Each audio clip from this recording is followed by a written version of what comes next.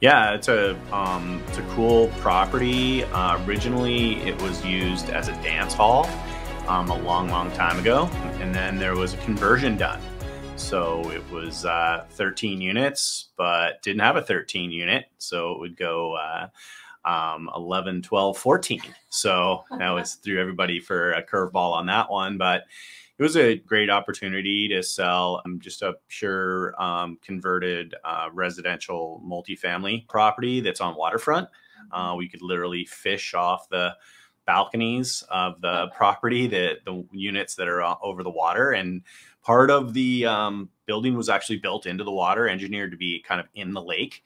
So that always, um, you know, got us a few questions as well as far as uh, the engineering on the building. Yes, it was designed to be in there. Great for the tenants to have the recreational opportunities to use Big Lake. It also came with three fully serviced RV sites that were are leased out with a fourth one that could be serviced. We um, we actually developed one of those midway through and added the site, um, you know, hooked the site up so we could get it uh, occupied and income coming in. So it was a great uh, income producing property. And those are some past clients that owned another multifamily investment property that I sold for them in Mount Vernon. And they ended up doing a uh, reverse 1031 exchange on that property and got a chance to help them uh, do that and help them reinvest into uh, another location. Well, in this case, they really um, went out and found the property that they wanted to buy before they had their property sold.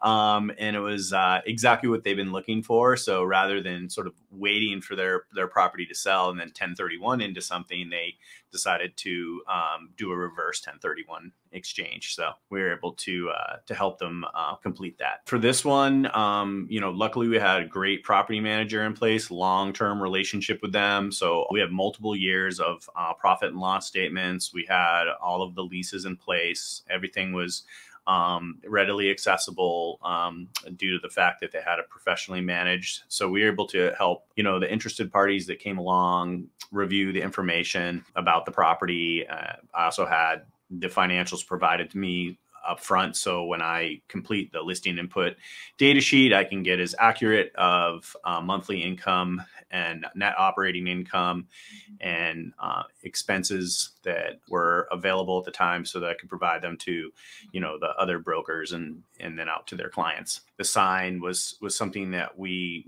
we we sort of really didn't want to disturb the tenants. We didn't really want to. I mean, yeah, they know that the property's on the market, but rather than having people pull over, drive down their driveway and snoop around and look at the property because they think it's oh, it's an apartment building, we can just get in there and take a peek. So that was one thing we just didn't want to have too much traffic on the site. So that was the sort of the reason behind the sign. The second reason behind the key box was that schedule a showing through the property management office. We would post notice. Then, uh, since I accompanied all the showings for this particular listing, I would then go and check out the key, and then I would return the key to the the property management office, and the, they they just like to control access to the building for security and for you know their purposes. So we facilitated the transaction that way. Yeah, rather than just having a key box and then having um, you know miscommunication or if if there was a point, and then this also overlapped into COVID.